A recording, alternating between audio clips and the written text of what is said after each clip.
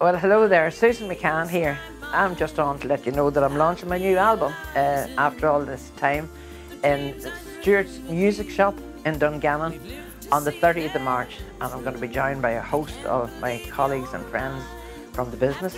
We're going to have a great afternoon to crack. I'll sing a song or two as well, and uh, I'll have my, my two granddaughters with me.